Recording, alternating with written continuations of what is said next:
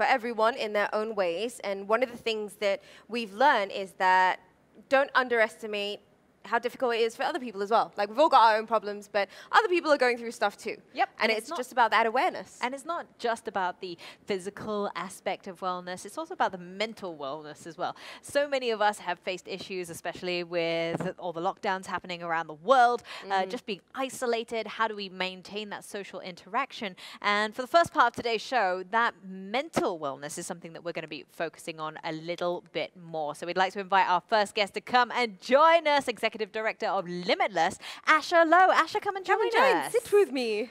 Yeah, all right, okay. How are you doing, Asher? I'm doing fine. I'm doing fine. Thanks for having me on the show. Oh, thank you Thanks for coming, for coming on and joining us. us. Um, so tell us a little bit more about Limitless. All right, uh, I mean, like Limitless is a youth organization.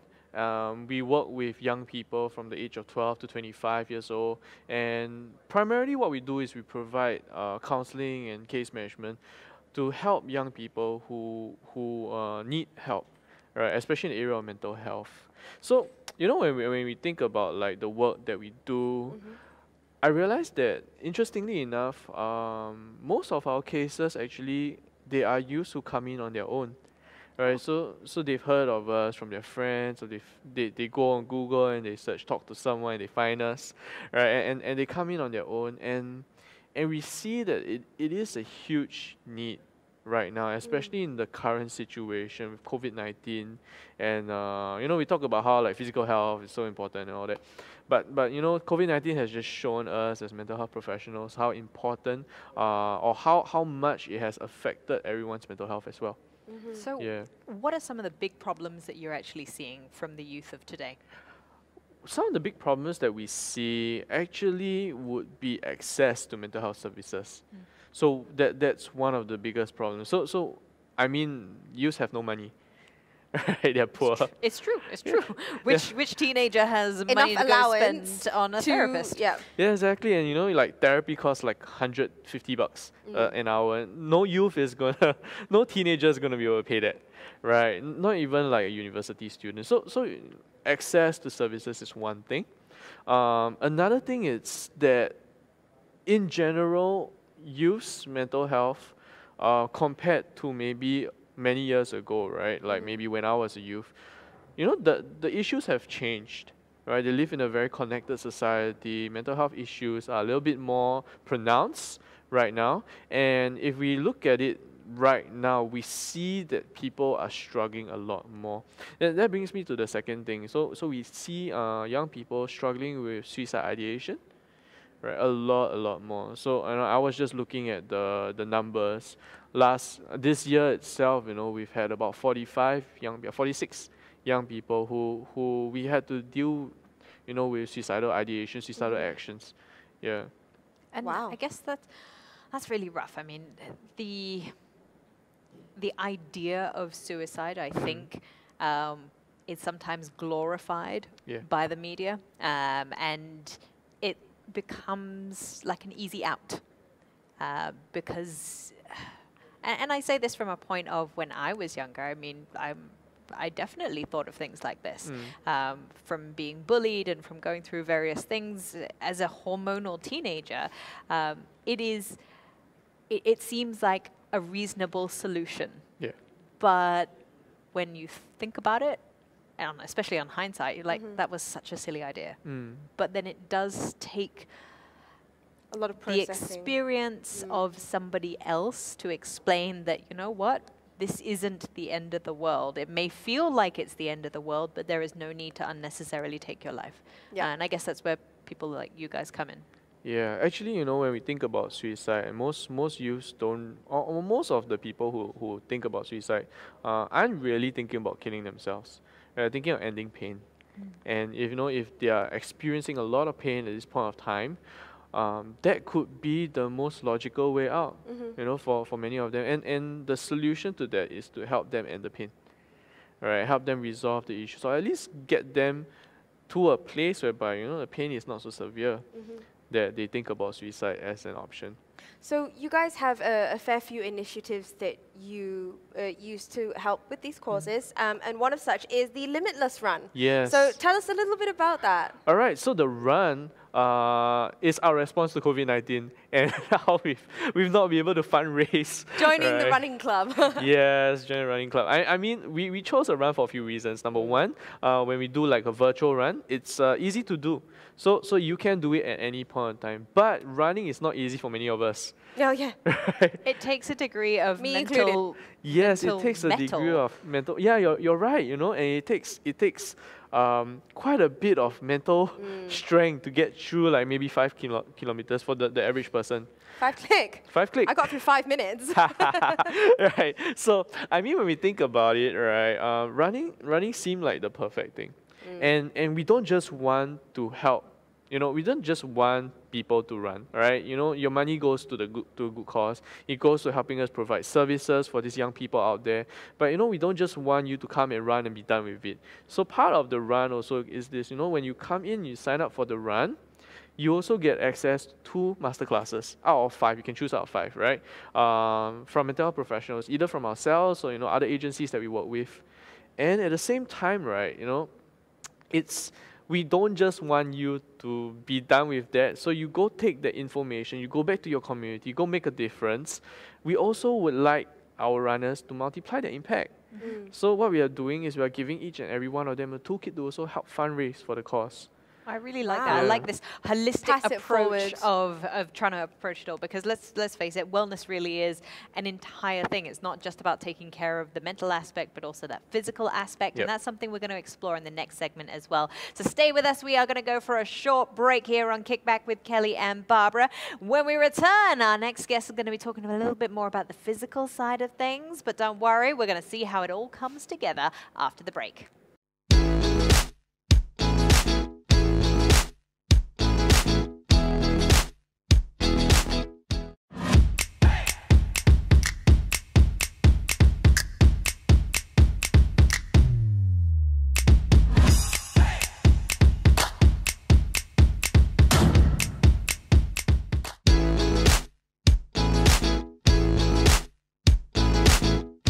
Welcome back to Kickback with Kelly and Barbara. We've got our second guest, Singapore footballer for Hougang United Football Club, Lionel Tan, joining us in studio. How are you? Thank you for having me here. I, I mean, I'm good. I'm good right now, and You're good now. You're good I'm good now, now. because so, back back in few months I wasn't so good. So, so you you've had quite the journey in terms of football. I mean, you eat, breathe, live, sweat, exist with football from the Singapore Sports School to the SEA Games to the clubs that you've played for. Um, how how has that whole journey been for you? I think it has been a really long journey. You know, I learned You learned a say lot that, of but you're like 23 years old. no, but it was a long journey before I became a full professional footballer. I had a lot of obstacles. You know, you sacrifice a lot. So, I'm proud of where I am right now. But uh, the work never stops, and it's all about working hard again. And I have good and bad moments, you know, but I appreciate all of it because I learn from it. I learn from all my experiences, and I mean, it makes me a better person as I well. I was just going to say, it makes you a stronger person, more resilient. I mean, it takes a lot to be able to wake up at five o'clock every morning to make sure that you get there for training every single time. Now, you say that you are much better now than you were a few months ago. That's because you actually contracted COVID. yeah, it was. Can you tell us a little bit more? Uh, when I first contracted COVID, it was quite bad because uh, I was at home uh, most of the time. Only probably went out to get my food or to exercise uh, because I was uh, told to be home, you know, stay home. So what happened was uh, when I first contracted it, I didn't know it was COVID because I just felt like it was a normal uh, illness, like I got a flu and uh, some sore throat, and I took uh, medi- medication like Panadol and stuff, and then uh, the next day it was all good. But came after that, it was uh, some uh, fatigue and my back started to hurt, uh, ache a lot. So it was a constant thing. Even when I'm laying in bed uh, and stuff, doing uh, normal daily uh, activities, it was uh, so tiring for me, and I just wanted to eat and sleep. To be honest, I, I, I even tried foam rolling myself my back, but it never helped. It never went away. You thought it never just went away. maybe if I foam Yeah. roll enough, it'll go away. So, so maybe you can talk us through the whole process. I mean, from finding out that you actually had it, the test, and yeah, stuff because you're like that. between your first Yes. symptoms So- and getting tested. It was a good 10 days. So uh, I thought I recovered because uh, when when my flu and cough went off. It was just fatigue, you know, and it might. I thought it might be from the exercises that I do, you know, uh, when I go for my runs or I work out, Mm-hmm. but it never seems to go away, you know. So what happened was I decided to see the doctor the moment I lost my sense of taste and smell, because thi- it was something I looked up uh, on Google, you know. They have everything. they have everything Doc- Dr. Google, as we call and it. then and then it back then uh, loss of taste and smell wasn't a so-called a thing yet you know like Wasn't one of the designated yeah. symptoms to look out for. so for. when i went to doctors I, basically i went to a clinic and they asked me two simple questions whether have i traveled out of singapore the last 14 days or have i uh, got in contact with any covid patients which definitely we are unaware because it can be anywhere it can be anywhere so but i did say that uh, the fatigue was real and I lost my sense of taste and smell, but apparently she's the doctor. I trust her. She said like, oh, um, no, no, because the two the two factors uh, wasn't included. You know. Mhm. So you so- weren't presenting all the usual symptoms that you that a typical COVID patient would have, but you were displaying other things, Yep. and they maybe thought, oh no, maybe you don't have it. Yeah. So basically, she just gave me five days uh, MC, Mhm. and then she said that uh, within four days, if I don't feel well at all uh, with the medications that she gave me, I would have to go back to see her. So four days later, I still felt the same. It was so tiring, you know. Yeah. I still only uh, just have my meals and then go to bed and sleep, you know, hoping that I'll recover. But it never, it never did. Uh, I never recovered uh, fully. So when I did, uh, went back to the clinic again, the very same day in the noon, I, I, I- I was admitted to Ng Teng Fong General Hospital because I took a, a swab test in the noon and I managed to get my results uh, at about 10 p.m. So immediately, I waited for a bit uh, before the ambulance came, and I mean, I felt it felt weird because you couldn't uh, even simple things like pressing the leaf. The uh, They the won't let person- you do it. Yeah, they, they're helping me do it, and they said like, I, I I can't touch any surface, you know, because they were scared. Obviously, I was spread to everyone. Yeah. So Wow. when I reached the hospital in the ambulance, it was really, um, I can't describe the feeling because the, basically you walk in and there were two glass panels uh, in between, you know. Mm. It must have been so isolating for you, The ro- because it was be- isolated. because it- you've got to be in this bubble, right? Like suddenly it's just like everyone's looking at you with suspicion. Everyone is so afraid to come close to you. But thankfully, the ambulance came uh, midnight, so there wasn't anybody looking at me. Right But- Yeah, so I managed to stay in the the isolation ward uh, for a day, for a night, and then next day I moved to a different ward with uh, other workers, Mm. which I managed to speak to them, you know, get to know more of them, and to to be honest, I learned so much because uh, I feel fortunate that fortunate for uh, where I am right now, Mhm. and when I, when you speak to them, they open up to you. It's not exactly what people think of them. They have their families back uh, back home as well.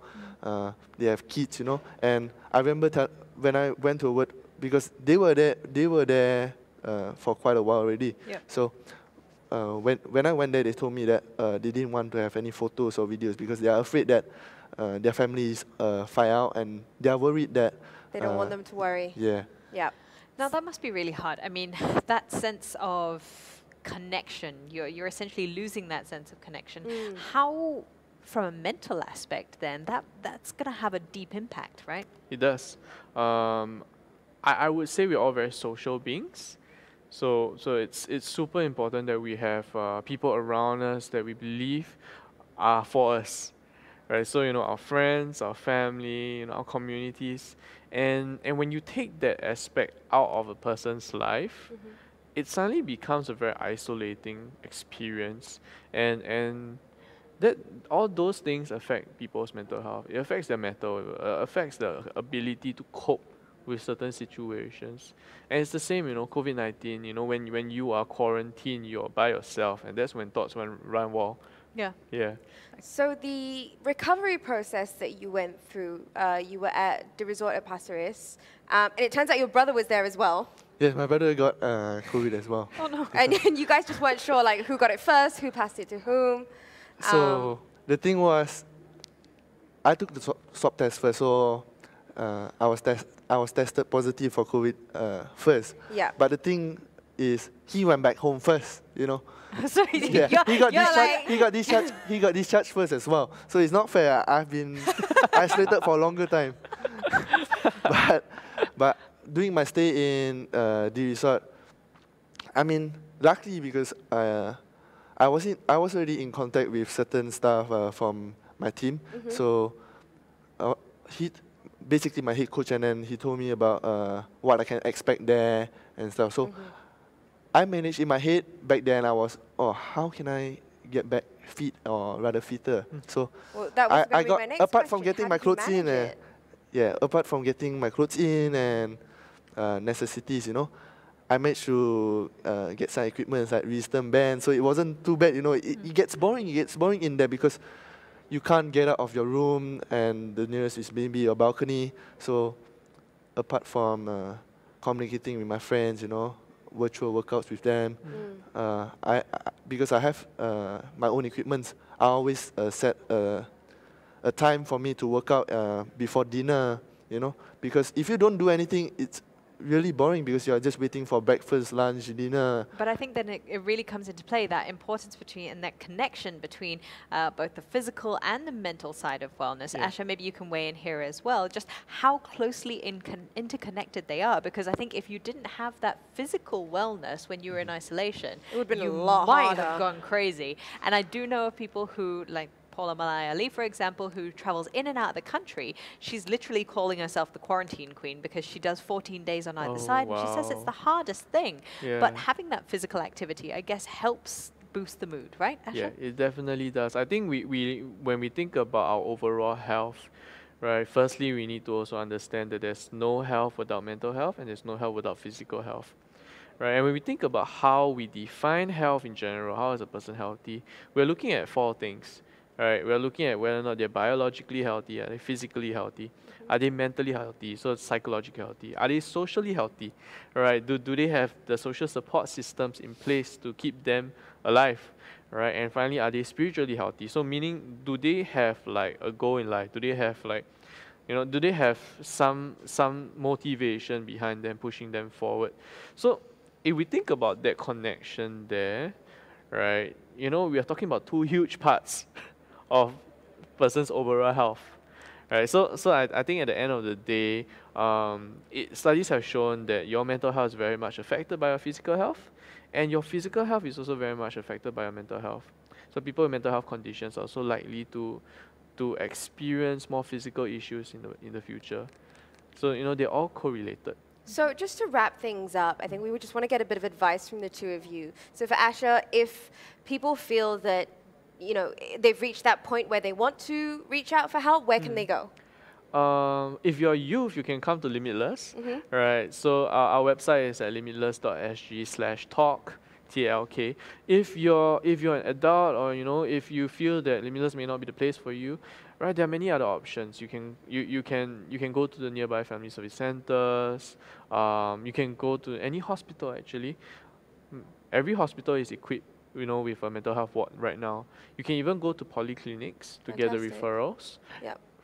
And uh, if you if you need a place to look for other agencies that are available, right? We have uh, the AIC website. We have the NCSS website, whereby they have they both have their own list of resources. Fantastic. And and Lionel, just from you, what advice do you have for anyone who is uh, potentially going through what you went through? I think basically the most important takeaway for me is uh, staying patient because when you get COVID, you never know when you recover. Like I thought that I'll be out in a week's time, you know. Like I felt good uh, when I was uh, by then when I was in the hospital because it felt like my body is completely recovered. I could uh, do some workout and stuff, but basically staying patient and staying positive is important. Talk to your friends. Uh, or talk to, talk to whoever your loved ones uh, just basically communicate because it's essential, you know. that Even communication is absolutely key, and I think that's something Asher would definitely agree on as yeah, well. I do. Gentlemen, thank you so much for sharing. I appreciate it. First-hand experience with COVID. That that is a, a scary, Our first daunting COVID guest thing. as well. Hey, thank you so much. covered. Thanks for coming on, guys. and we really appreciate it. We're going to go for a short break, but when we return, Barbara is going to be doing a workout with Lionel. This should be fun. Don't go away.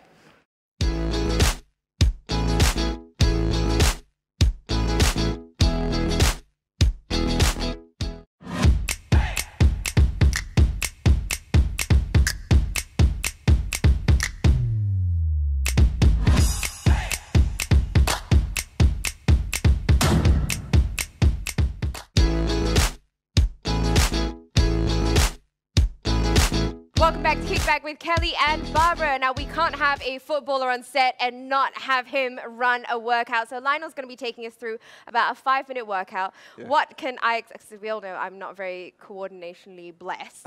um, so, what can I expect today? well, uh, I'm just hoping to bring some simple exercises uh, to you and to everyone, and then hopefully uh, it'll be beneficial for everyone. Cool beans. Yeah. All right. So, um, we also have footballs on Yeah. set with us, uh, which also makes me slightly nervous. Last time I tried playing football, I fractured my wrist. So let's hope that that doesn't happen today. All right, let's get straight into it. what are we doing first? For the first exercise, maybe we'll warm up a little bit, just some back cross, Oh, back rolls. just some easy ones. Okay. Little back and forth, keeping the hips tight. Yeah, this one's always a good one to warm up. You end up getting your core activated, your Uh-huh. shoulders activated, nice flat back, and knees Oh, it's one minute. Okay. No, we've still got time. We've still You got time? Yeah, we've got time. We've got about 20 seconds more. I'll keep time for you. Okay. Okay. I almost regret saying that now.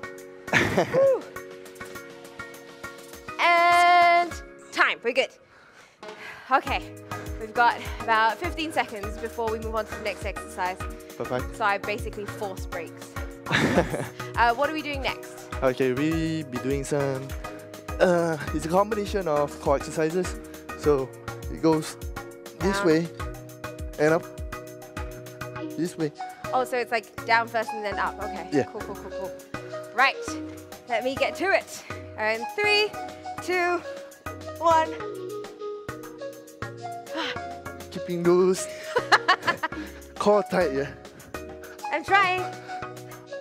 Unlike you, I do not train every day. But we trained today. We did. Okay. Keep going. If you're at home, you can probably aim to do all of these, maybe three or four sets. This is me looking as an excuse uh, for a break. And Lionel was just powering through. nah, I'm, I'm in trouble as well. I shouldn't have. You're like, shouldn't have trained so hard earlier on in the day. Whew. And time. Okay. Oh, there go my hips. Great. What do we got next? Uh, next one is another combination. It's tough, but it's simple. It's this way, this way, and then we just pull it up. Okay. Cool. Clearly, I was not prepared for this one. Okay, we're going in three, two, one. So, bicycle, Bicycle bicycle, and then. up. up. You go slow and steady. We're feeling I the feel burn. so much engagement right now.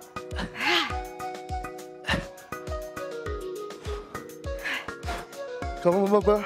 Oh, he's trying to encourage me. Bless. Ah. okay, we've got 20 seconds left. I can do this.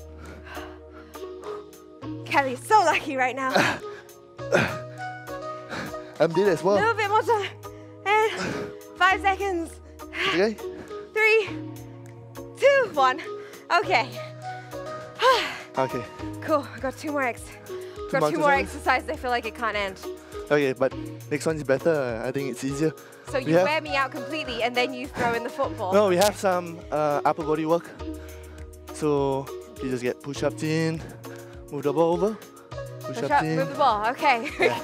and again, you can always do this on your knees if you're feeling tired or Yeah, sure. lack of strength, like me. So you can do it anywhere, you know. Let's go. Whew. At home, if you have a ball, you know, you wanna increase the difficulty level. I think you can do this. Increase the difficulty level. Yeah, because if you if you do no normal push-up, I think uh, It gets boring after a while, right? it gets boring, and I mean this, this gives a little bit more uh, different type of surface, you know. Look at us having conversations while we work out. We got Keeping myself distra- distracted. distracted. In three, two. Okay, one more rep in. Oh, my time. Okay. So, we've got one more One last one. exercise. What are we gonna do?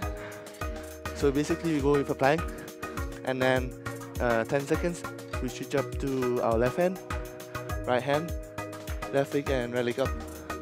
So 10 Oh, seconds work, yeah. Okay, You good? you do the last first, one? and then I'll. I'll Is the last follow. one? Last one. last one. We can do this. Let's Okay. go. Okay? Yes. Okay, let's go. Oh. Just wait there. Okay.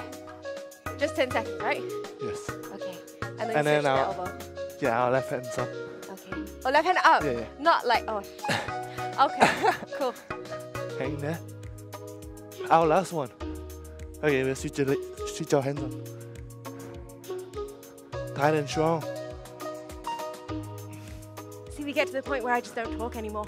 It's usually during the last but it's the last 30 seconds. So we have our left leg up right now. Le- uh, left leg. I can hear our producer kind of like giggling at me. Okay, we can change Back. it. Change. finish the last one. Last exercise. Last, Last one. seconds. And then we march on the spot. Oh, we do what now? We march. We march? Yeah, Okay. it's okay. Oh, we march. Okay.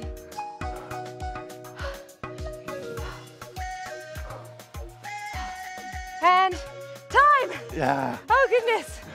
All right, well. Okay, we're standing. Okay, You're sweating. awesome.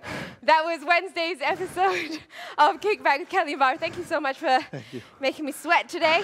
Um, we'll be back again on Friday evening at 8 p.m. on Get Active TV. Joining us will be Power Racing couple Claire and Yui. We'll see you then.